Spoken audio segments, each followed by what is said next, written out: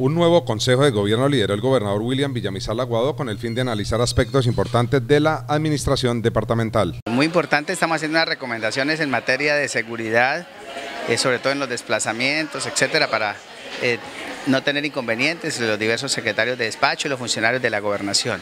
De la misma manera, recomendaciones referentes al cumplimiento de horarios de atención a las comunidades, de llegada a cada una de las oficinas, porque vamos a trabajar muy fuerte sobre eso.